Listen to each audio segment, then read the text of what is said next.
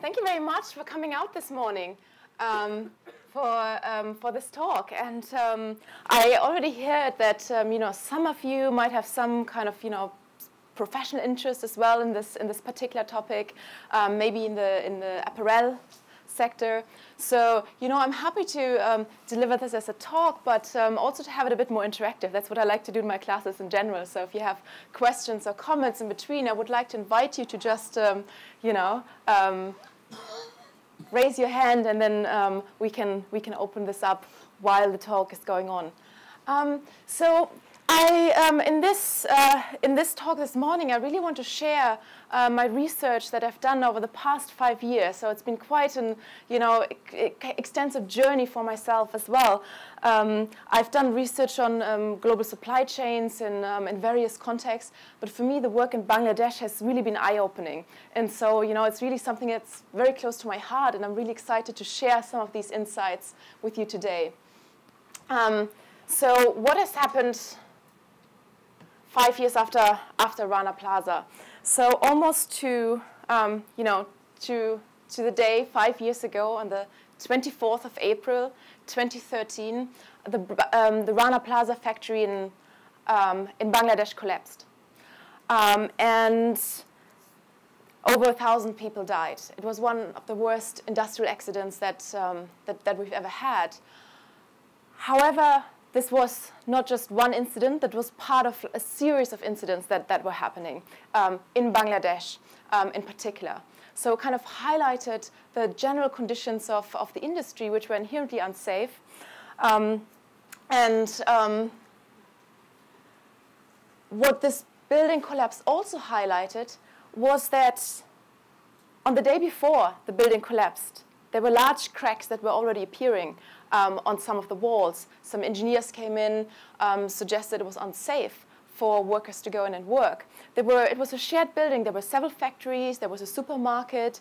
Um, there were a number of other uh, shops. A bank um, was in part of the building. Most of the workers that worked for the supermarket and the bank were told not to come in the next morning. However, the garment workers, they were told to come in. So the management of the garment factories, they failed to um, safeguard their workers and um, make sure they don't come to work the next day because they had to fulfill the orders for, for Western brands. Um, I think what else, um, the, uh, and, and, what this highlights is really the lack of workers' voice in, um, in a country like Bangladesh and in an industry um, like ready-made garments. so if workers have had a voice to um, refuse unsafe work, probably this disaster could have been prevented. Um, something else that this disaster established, I think, um, and sorry for showing these horrible pictures, um, but it's very much the link that we have as consumers um, and the workers that produce our clothes. So when the accident happened, there were many, you know, many household labels that some of which I have in my cupboard. Maybe some of you, you know, you might have them in your cupboard. Um, Mango and Zara and Primark and um, um, Joe Fresh and Benetton. Um, and many of these companies, initially they said, well, we didn't, we had no idea we were producing in, in Bangladesh. We had no idea. Um, we didn't put the order in this factory. Nevertheless, their labels were found, so, so they could not refuse the responsibility. But it kind of highlights a system of subcontracting, fragmentation of relationships and supply chains that then makes it very hard for, uh, for companies to know where their produce is actually being produced.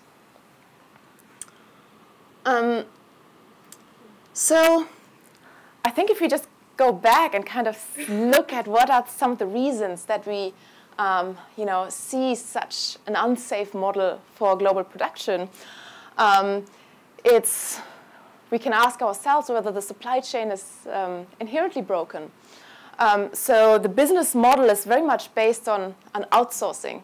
So for me, um, or when, when I did research in Bangladesh, um, the response I always get, well, if there was any money made to be a factory owner, probably the brands would do it themselves. They would run their own factories. But most of that is outsourced to factories in Bangladesh. Um, and um, there's been an ongoing price squeeze um, to pay lower and lower um, prices for, um, for the products. Um, and also shorter lead times, you know, fast fashion, more and more fashion cycles, the, the drive to get products as soon to the customers as possible. Um, and that really translates into downward pressure on suppliers and on workers. So Bangladesh has the, has the lowest minimum wage, um, or one of the lowest minimum wages. It's um, set at $68. Um, nevertheless, Bangladesh is a very expensive or relatively expensive country to live. Um, and so most workers, they actually rely on doing overtime to earn a living wage.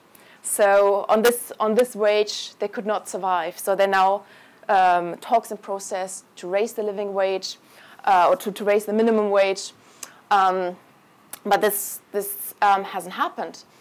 Another, um, another uh, effect of the downward pressure, poor working conditions, um, anti-union practices.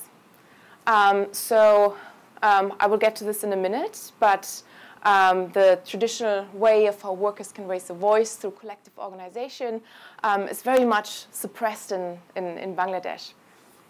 So, um, and collectively, there's been a lack of investment in building safety.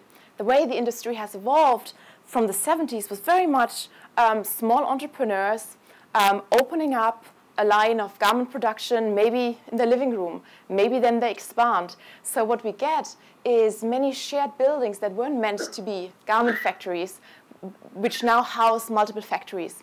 And like in the building of Rana Plaza, um, there were several stories were added up to the building without any building permission um, being given. So it's kind of a bit of a wild west of, uh, um, of production. Um, and um, so the traditional safeguards that are in place um, have really been undermined by uh, economic globalization. Um, and um, so we really see kind of, um, kind of really this downward pressure resulting in tragedies like Rana Plaza. Um, at the same time, we kind of see, you know, when we look at uh, companies and their corporate social responsibility commitments, more and more actually promise to have, have a code of conduct. Nike was the very first one in the, in the early 90s to have a code of conduct. So there are more and more commitments being made. Um, but um, the paradox maybe of CSR is that while we have more commitments um, being made, yet conditions are actually getting worse. So there are studies that suggest that labor rights have actually been eroded more than safeguarded despite um, these promises being put in place. I don't know, does anyone of, of you work in the, in the garment industry? Or in, in any related area?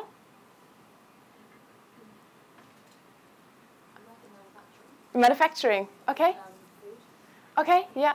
So also global supply chains. Yeah, so some of these kind of issues will be familiar to. you.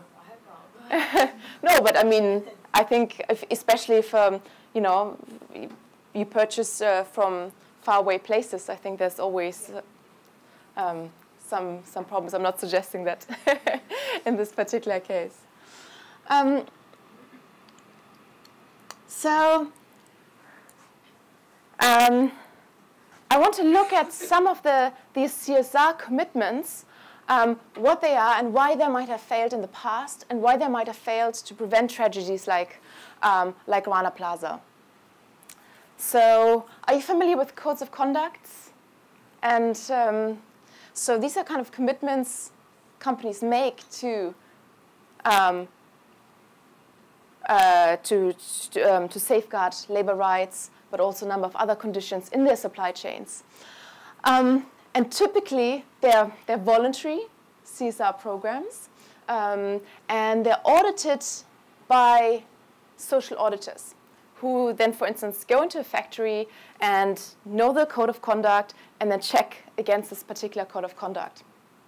Um, however, um, this has not achieved to prevent disasters like Rana Plaza. So, for instance, um, two of the factories in Rana Plaza were audited against um, a social accountability standard just a few weeks before the tragedy collapsed. Um, so this really, first of all, you know, questions the, um, you know, the, um, the responsibility and accountability of these auditors. Um, but it's very hard to establish because many of them were not experts in structural building safety or in, they were not like fire or electrical engineers. Um, nevertheless, um, some studies suggest that they cost companies up to 80% of the ethical sourcing budget. So it's very, very costly to conduct these audits and to keep up the system with individual audits. Um, yet what happens at, on the ground is that, um, say, I'm a, I'm a factory owner, and I probably sell to 10 different brands. So my production facilities is going to be shared. Now, each of the different brands will ask me to adhere to their code of conduct, and they will send their own auditors. So factory owners and factory owners have to pay for the audits to be conducted. So there's also a conflict of interest going on where factories pay um, the auditors for them to get audited. Um, so that means if I go to factory owners in Bangladesh, they tell me, you know, I have like a social audit taking place every week. It takes up so much of my, you know, of my time, of my workers' time. It's, um, it's, it's, it's, it's very disruptive. Um, and so there's like audit fatigue due to duplication. Um, I was just last week in The Hague at a, at a conference on exactly this, um, on exactly this topic, and um, the president of the Bangladesh um, Garment and Export Association um, was there, and he was again talking about this model of social auditing and how this was a waste of time and money to have again and again these audits. Um, but they fail to, to actually identify and to address the underlying root causes. So they might identify, yes, overtime um, work is going on, um, maybe things are unsafe, but often it's, uh, there's, there's no system to then actually follow up and uh, find out how these non-compliances can be addressed. Um, and on the brand side, it's a similar story that often brands do not follow up on these non-compliances. Um, it's very disruptive, right? If you have a supply chain and um, you know you operate a fast fashion model, um, and um, you hear that one of your suppliers there might be an issue, it might be very disruptive um, to then stop purchasing from that one and look for a new supplier who can you know, deliver to the same quality, similar cost, and so on. Um, just two weeks, um, no, um, six months before Rana Plaza happened, there was another factory fire at um, the Tazreen fashion factory where over 100 people died um, because there was a fire and the fire exits were locked. So people were locked into the building and they couldn't get out.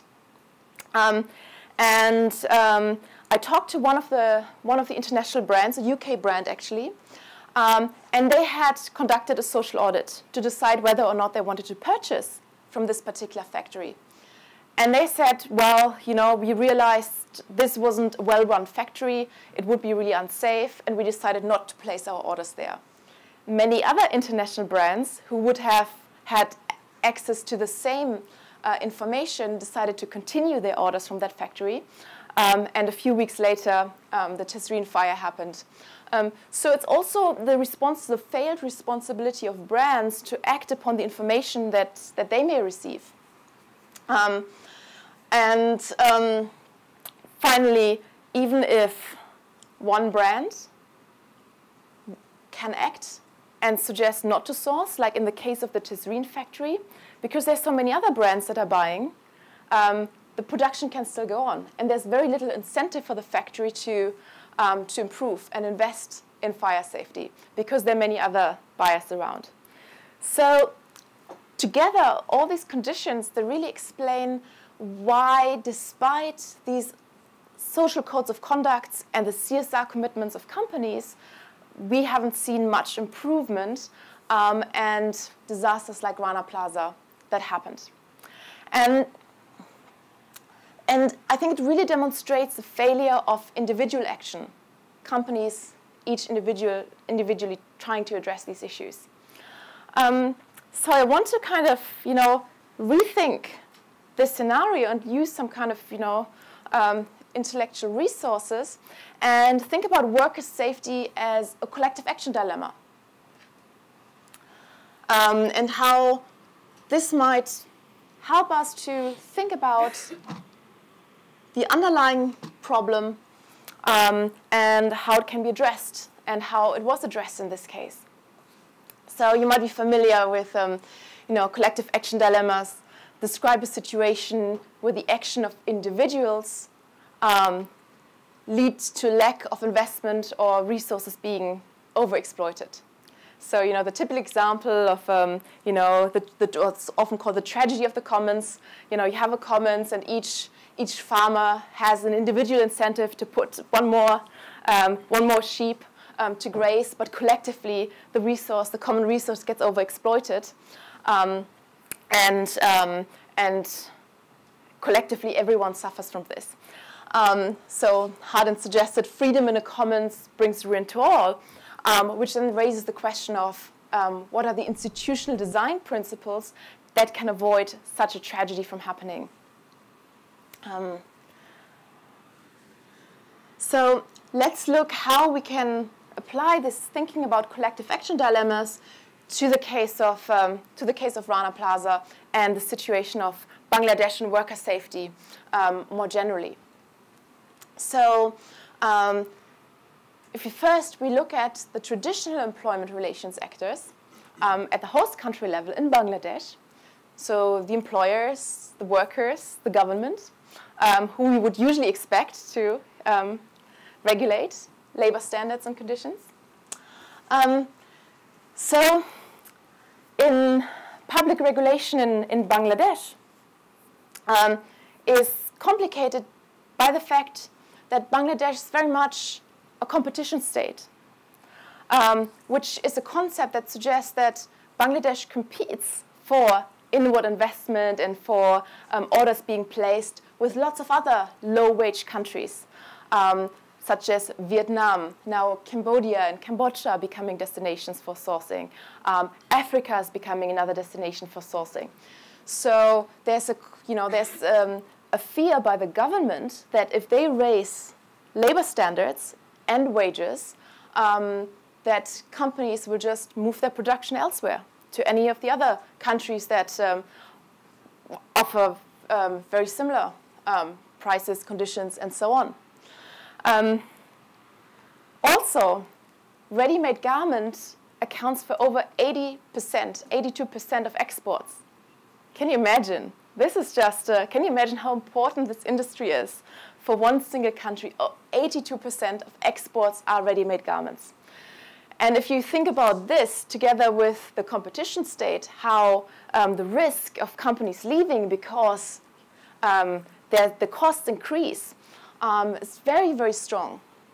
Um, and this re results in, um, as in many of these contexts, the labor law is there, the building co code is there.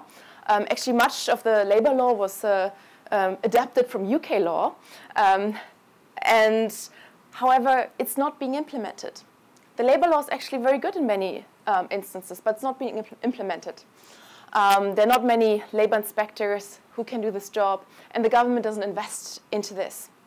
Um, in fact, the, um, when Rana Plaza happened, I went to a conference that took place in Bangladesh, in Dhaka, um, and the Prime Minister Sheikh Hasina was speaking, and she was um, um, she was calling Rana Plaza and the international response as an international conspiracy to reduce the competitiveness of the country. So this is kind of the, I just use this as an example to illustrate you the level of um, fear that the government has that raising the standard might actually um, result in, um, in companies leaving the country. Um, on the side of employers, which are the suppliers of, um, of the ready-made garment, um, very low barriers to entry. The Bangladesh specializes in cheap t-shirts, um, cheap garments. So it's not so difficult to just open another, um, you know, garment factory, very small one maybe, start with subcontracting, and then graduate. And so there's really cutthroat competition on a very, very low cost basis. So an individual factory doesn't have incentive to actually upgrade um, in, and invest in worker safety. On the side of the workers, um, 80% of them are female workers. Many come from the countryside. Many workers are illiterate. Um, and they're also deliberately used in this industry because um, they're more pliable. Um, and they they're more happy to work long, long hours without complaining, without maybe forming a union. Um, and um, they have very low structural power in the supply chain because um, Bangladesh is a country of over 160, um, 170 million people. Many of them are young people. Um, Dhaka attracts over half a million people each year from the countryside who move to the capital looking for work. So there's really a lot of supply of unskilled labor um, that is ready to replace laborers in, in the factories. Um, and also very low associational power. Um, yeah, let's. Juliane, I just want to give you, did you want us to ask questions? Yes, please. That's so great. Just quickly, on the competition state piece, mm -hmm. if it is that the brands insist on the same standards in all countries, then the issue of raising costs by having to have better labor norms, mm -hmm. is it not negated by the fact that they all have to do it? Um, that would be the ideal case scenario. Yeah, yeah. But that's exactly what's, what's um, the tragedy of the commons is that that would be so much better. And actually, if you talk to um, you know, managers in companies, they tell you, you know, I wish um, everybody, you know, we just had a common standard and everybody would adhere to that, and then it would be taken out of competition. Um, and something similar happened in response to Rana Plaza um, that at least all the brands started to collaborate. So I'll get to this in a minute. But at an international level, um, I hope we see that in the future, but it hasn't really, it hasn't really happened yet. Mm. Any other questions so far?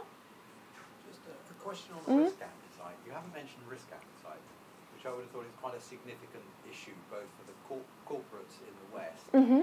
and for the local companies. I mean, the, the risk appetite in the local companies, profit is at the head of that, health and safety, which would be actually top of the list here, mm. and compliance would be at the top of the list, is obviously a long way down. And for the brands, I guess the risk appetite, normally around brand damage, uh, they would have a very low risk appetite. Mm. But um, the death of 100 people appears not to damage a brand. So therefore, it doesn't seem to matter. A thousand people, apparently it does matter. Mm. So it's interesting looking at the reaction of those brands in, in the sense of um, just how many people die in the local area yeah. for it to have an impact. Tens, hundred, as you said, in the fire, didn't make any difference. Yeah. Um, a, a, thousand suddenly got noticed because of the media attention. And, yeah. You know, Benetton and Primark had to react. Could you say something about risk appetite? Um, yeah, I mean, I think um, I would generally say that um, from my own experience in Bangladesh, there's a very high risk appetite, but there's not, not very much a concept of, um, of safety. Um, so you see that in all sorts of industries. I mean, um, I just show you a picture um, later on of, uh, of the traffic. Um, so this is kind of the, the, the, the, the traffic in Bangladesh. So, um, you know, you see all sorts of um, vehicles from rickshaws to tuk-tuks to big buses to trucks to pedestrian, all walking around. If you see a construction site generally, I mean, they're building very, very high kind of um, high-rise buildings. There's no kind of, you see kind of workers pulling big bags and you think, oh my God, if they fall over, they, you know, they will just topple over. So there's kind of a very different conception of what safety means than from what we have. So I would say, yes, in that sense, you can call it risk appetite. In terms of the brands, I mean, I would say, um, um, I think after Rana Plaza has, has radically reduced their risk appetite. Um, before, I think there was a feeling that um, um, that they could get away with it in a sense because you said 100 workers, yes. I mean, there were many efforts that were put in place because it was, it was Tazreen, it was um, Spectrum just a few years before. So there were a number of these kind of accidents that did happen and that suggested a pattern. Um, but it wasn't enough to, to really, you know, trigger concerted action um, and address this. Um, but I think, I mean, I would argue that maybe the social codes of conduct are actually to reduce the risk that companies are take, and they say, "Oh, we had this code of conduct, we had auditors, and so on." Um, but I think this disaster has really demonstrated that you know this this was not really working. Yeah, that's. Um, have your research been able to identify any way of quantifying the risk or the cost of these breaches of regulatory standards in these factories? Um, I mean, it's it's hard to quant- quantify the, the cost of life. I no, no, I suppose no. I- what I'm saying is, is that have, have you managed to find any ways to sort of put a number on what the what the risk means to the businesses and suppliers Mm. of not complying with the regulation that's in place? I mean, I assume going out of business is fairly costly Yeah. But the, are there have there been are there some ways to measure and monitor what the outcomes are, where you can put a sort of comparative number on the cost of doing business in a in a you know a compliant Mm. factory as opposed to a non-compliant factory, which then causes all sorts of Mm. Yeah, I mean, I would say this is also the way that costs are put in place, because um, if you were non-compliant and nothing much is happening, you don't have a big disaster from happening, then you know your kind of costs are, are zero. You might be non-compliant, but you still have your orders and so on. Um, um, but, but, but, but you run the risk that um, a disaster might happen. So, but, but I, um, I personally, I haven't done this type of um, quantitative research on um, quantifying this. But I would say that the risk of not being compliant is a loss of business, which often is not followed up, but with what happened after Rana Plaza has actually become a risk and a real cost that makes a difference. Yeah. Hi, my name's Joanna. I study business here at Thames. Uh, the gentleman's question before just sparked a question Mhm. in my mind. Um, you mentioned you, you basically made this this parallel between Western countries and the supplier countries, let's call them Southeast Asia. Um, I'm wondering. Of course, it makes sense to to have this kind of structural um, the structure in place where, okay, uh, the suppliers, the companies requesting orders, Mm. geographical regions, economies, all of that makes sense when we're doing our analysis. However, when we then move on to implementing a solution, I'm wondering if that kind of dichotomy helps. Uh, I don't know if there's a right answer, but but I think maybe asking the question is important in the sense that if we if we constantly make this difference right between the uh, advanced Western countries and the less advanced um, Eastern Mhm. countries, does it help? Because then it's a sort of hierarchy, isn't it? And I'm wondering maybe maybe one effect of this kind of difference is um, is is exactly the fact that a country like Bangladesh. I mean, you mentioned the prime minister, right? The Thinking about some sort of Mm. conspiracy. It's. I feel like maybe this is an effect of oh, we need to we need to follow the lead of the advanced countries, um, whereas perhaps a more let's call it egalitarian um, solution might perhaps spark entrepreneurship in Southeastern Asia. So I'm Mm. wondering maybe would that be a possible solution to, to basically to reduce the uh, reliance. Do you know what I mean? The reliance on, on Western orders. What do you think about that? Yeah. Um, I, um,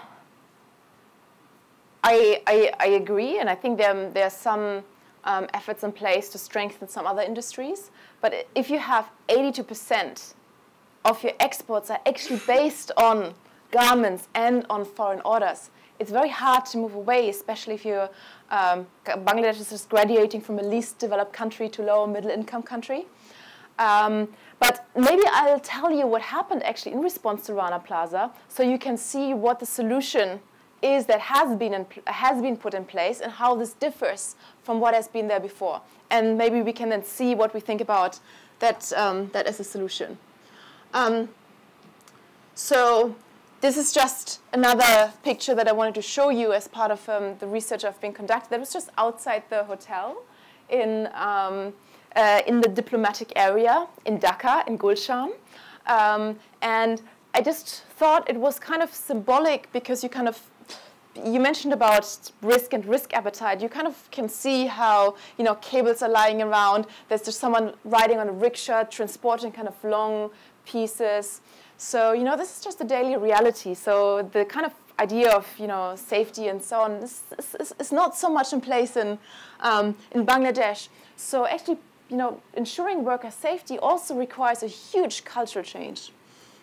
Um, so collective responses to Rana Plaza that have emerged.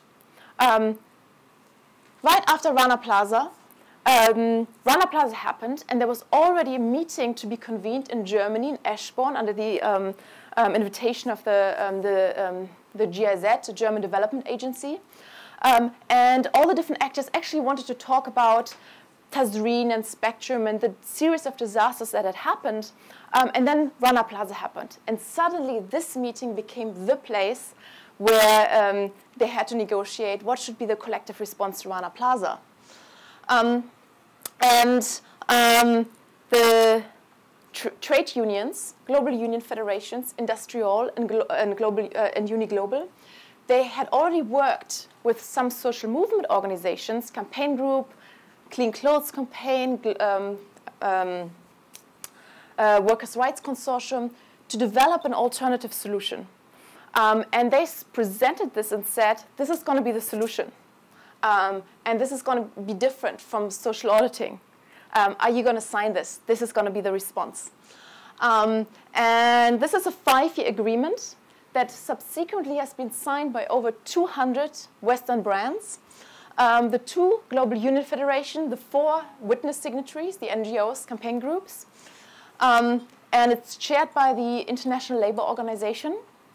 Um, and it puts credible commitments in place. It commits companies to maintain their purchasing volumes for two years. Um, and it's legally enforceable in the home country of the signatory company. So for the very first time, this is absolutely unprecedented that there's been a legally um, enforceable agreement um, that um, the, to maintain purchasing volumes was a commitment to Bangladesh. Um, does anybody have any idea what the, you know, what the export volume might be of garments? Uh, let, let me ask, probably this is, uh, this is um, too much. Who thinks that after Rana Plaza, um, exports have increased from, from the country? Okay, yeah? Anybody think they have decreased? Okay. Um, they have increased, actually.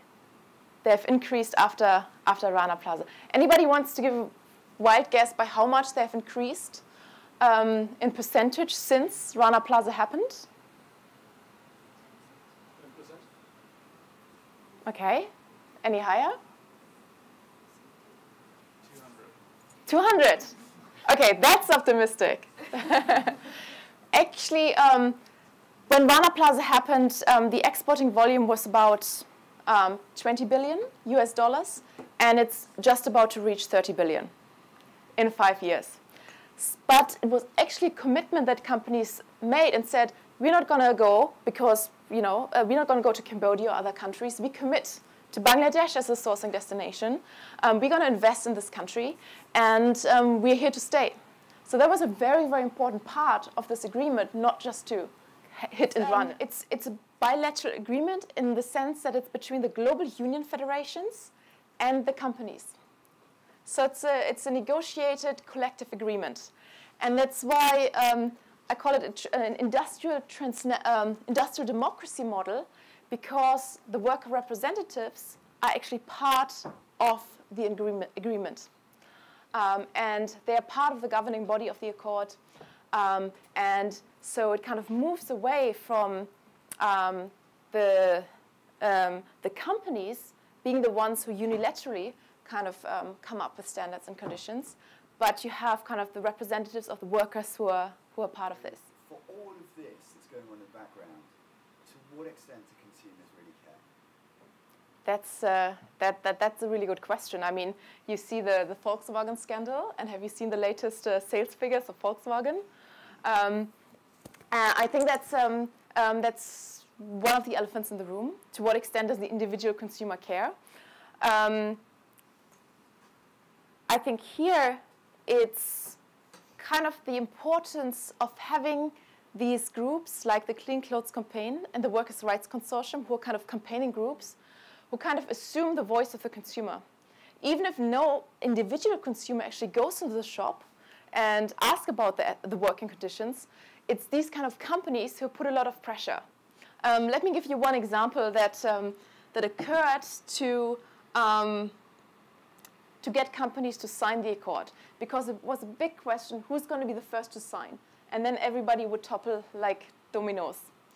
Um, so, do you know avaaz.org, the online campaign group? So they send kind of emails, and then they ask you to sign to sign at your name and so on. Um, and they were running a huge campaign against H&M. H&M is the biggest buyer from Bangladesh. Um, and they were, and together with the Clean Clothes campaign, they were planning to have um, a whole kind of media campaign in Stockholm um, shaming H&M. And the day before this was rolled out, um, H&M actually signed the accord. Um, and once H&M signed, then Inditex, which is the biggest um, textile company, then also signed. And once Inditex and H&M had signed, everybody else kind of signed and um, agreed to, to this commitment. Sorry, why, Mhm. why is that? Why do smaller companies need that sort of example to do it themselves? That's a good question. Yeah. Um, I think in this case, it's very much because it's going to be costly to enforce the agreement. So um, the Bangladesh Accord agrees to um, put in place collective audits of structural fire and um, um, structural fire and electrical safety, um, and to, to go into the factories and have a very in-depth assessment and also a follow-up to see whether the remediation is taking place. Um, and I think some of the smaller companies, um, they probably not don't feel confident enough that they can make this investment so that it would make a difference. But why not versus another case could be that, okay, I'm just going to let the big companies with lots of money do it themselves because they can afford it. Me, a smaller company, I'll just go on doing my unethical business. Why, why do you think that doesn't happen? hmm Um, I think because of the pressure, the public pressure that companies were under, and I think that's maybe um, people said Rana Plaza created a pressure cooker where um, it became really, really difficult to um, disavow your responsibility. Um, and I think that's why over 200 Western brands signed the accord. Um, often it's also suppliers of suppliers. So, for instance, um, Aldi and Lidl, the, the discounters, they kind of um, suggested to a lot of their suppliers that they please go and sign the accord. So, um, I think there were also some smaller companies who were really, really active, um, but they really wanted to have the assurance that the bigger ones are also behind and also doing their share. Because otherwise, it's kind of on the shoulders of the small companies. Um, we're already talking about a collective action dilemma where free riding is, is the problem. So I think it was very important to know the big ones on board. Who's, who's the social audit conducted on? Is it the Western firm or is it the factory? It's the factory. So, Yeah. um, does it give, my question was, does it give us sort of the same level of assurance as, say, a financial audit? And was this audit sort of, the audit of that factory, was it, did it fail? Or what was the, the Rana Plaza factory. Um, so there were several factories inside the Rana Plaza building. Again, that's why it's so complicated as, as, as a model. Um, and um, two of the factories actually, um, I mean, failure is, it's, it's not so black and white. The social audit says, okay, here there were like maybe 100 criteria and there were non-compliances on 20. Um, and then it's up to, the, to maybe each brand to decide what, what means failure for them. Um, but it's of, it, it- there's a huge question about the legal liability of, um, of audit firms and um, what it actually means to conduct an audit. But it's, it's not regulated. It's a voluntary. So financial auditing is much more regulated. So there are some legal implications, which wouldn't it be done by somebody like Ernst and Young or? That would be done by something like TÜV Rheinland. Um, so they kind of uh, give certificates. Um, they also do a lot of technical auditing. Um, but it's a private company basically that, that would be hired to conduct conduct the audit. Yeah. Who pays for it? Is it the factory? The factory pays for it. Yeah. That's why there's a conflict of interest. That the factory pays for for being audited um, um, itself. Yeah. And so the the Bangladeshi Accord has actually put in place um, an organization with over 100 people in Bangladesh. Um, and they're mainly local auditors, or the local engineers. They've hired local engineers and part of the plan was also to build capacity in Bangladesh because it's a five year agreement. It's just been extended um, for another two to three years. They really want to, um, to make sure the government is capable to take over the, um, um the, um, the audits and the safeguarding of the safety. Um, and I just show you kind of some of the success rates.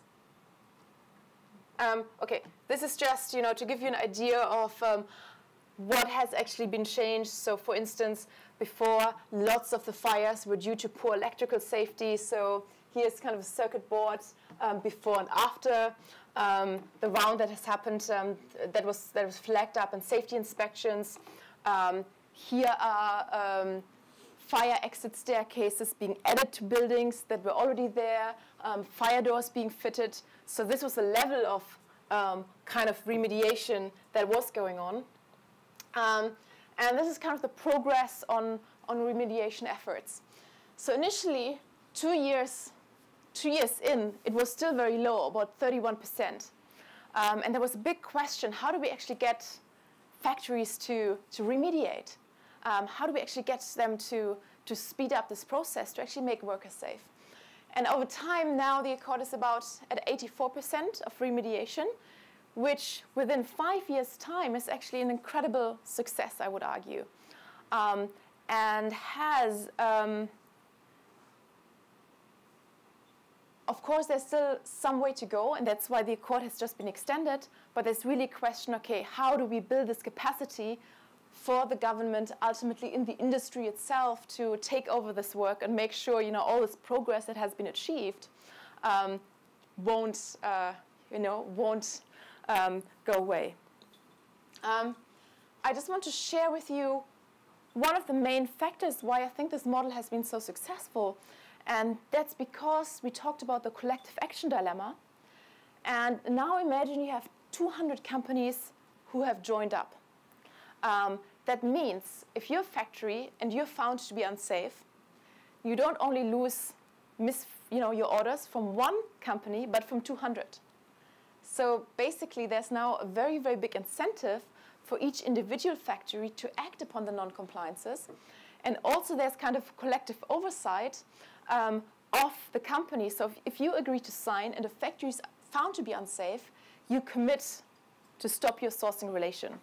And so I would argue that the industry coming together collectively has really made this change possible. Yeah, thanks a lot, everyone.